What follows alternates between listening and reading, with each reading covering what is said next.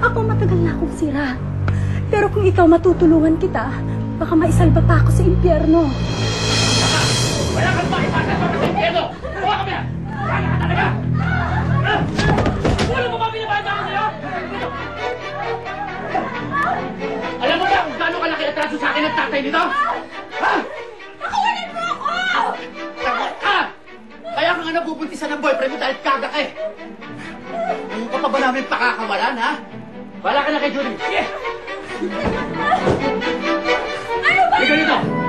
Dito tayo! Dito tayo! Pag dumating na asawa at sinunod niya ang lahat ng mga sasabihin, malalayain ko na kayong dalawa. Kung hindi, Ayaw lumabas. May problema ka? Wala naman pa, pero may sinabi sa akin si Maya eh. Kung papakasalan ko daw siya, eh matutuwa daw kayo. Anong ibig niya sabihin? Masama ba na maging masaya ako para sa anak ko? Ha? Pero pa, parang meron siyang gustong palabasin. Actually, we need Maya in the company. Hindi naman siguro magkukwit si Maya sa kumpanya kung di kami magkakatuluyan. Teka nga, bakit ba parang bigla kayo naging concern sa relationship namin? Iniisip ko lang what is best for you. Right now, I truly think Maya is the woman for you.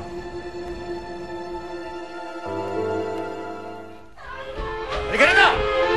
Halika rito! Tumakas ha! Dito tayo sa mas mababantay ang kapusan ito!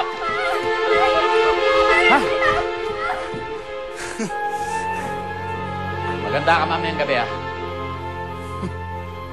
Sige, sarado yung pito!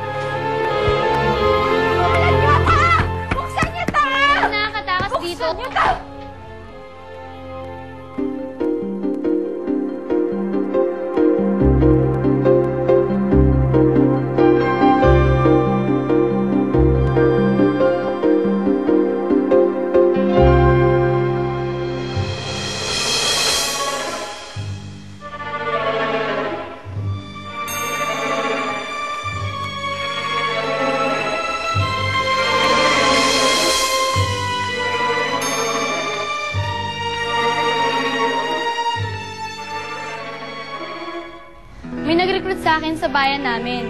Sabi, gagawin daw akong yaya. Huli na nang malaman kong dito pala nila ako dadalhin. Ako, nauli ako nagnakaw. Imbis na ikulong ako ng mga polis, contact ni Tonyo. Dinila nila ako dito. Bakit kayo? Bakit kayo nakakulong? Ba pinapagawa sa amin dito?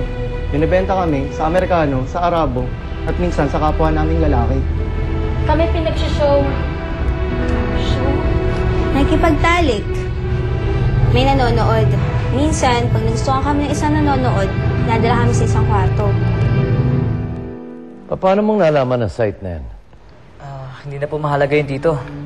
Ang importante po ay mailigtas natin si Lisa ngayon. Paano natin gagawin yun? Hindi ko rin alam pare. Pero obviously, local site lang to. Saka siguro naman di nila pwedeng dalhin si Lisa sa kung saan saan lang. Pero Vince, ang laki ng Pilipinas. Baka mamaya nasa Zamboanga na si Lisa. Tapos doon siya kukunan. Dan, kailangan ko ng connection sa polis. Pare, Chuck, meron din silang kapit doon.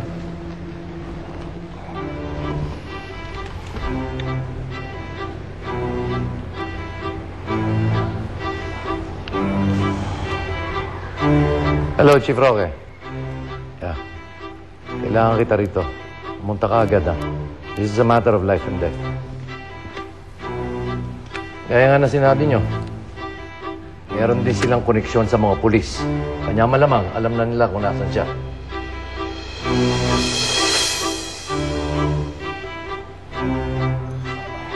Kaya na lang ako makipag-usap kay Chief Roque, ha?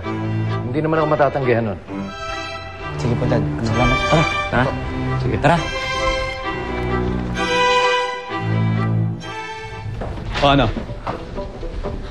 Sabi ko naman sa'yo eh. Sa akin ka rin babagsak.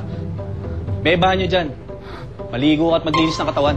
Hindi ako susunod sa'yo. Pwede ba naman kay Tonyo yun? Sinabi nga pala sa akin si Tonyo eh. Putis ka raw?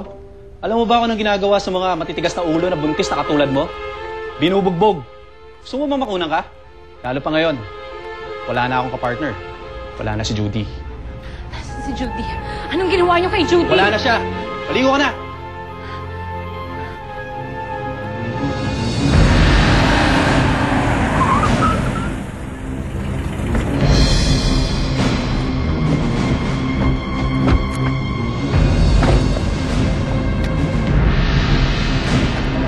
Kailan pinadala mo si Froke? Mga backup na parating. Sigurado ba kayo ito yung exactong location ng website? Matagal na namin nakatimplate itong kasang to. Ilang beses na namin narito kaya lang wala nangyayari. Sir, hindi kaya baka natin brihan na sila sa loob? Hindi, kami dalawa ni Hepe ang nag-usap dito tsaka yung mga kasama ko. Parang kinakabahan ako sa gagawin natin. Kailangan natin mailigtas si Lisa. Bakit di pa tayo sumugod? Baka mamaya may ginagawa na sa kanya eh. Mahirap natin silang pasukin at suburin. Kailangan ko tondiyak natin sila makikita. Anong gusto nyo? Tumayo tayo at magantay. Hintayin natin muna lumabas si Lisa, saka natin papasukin.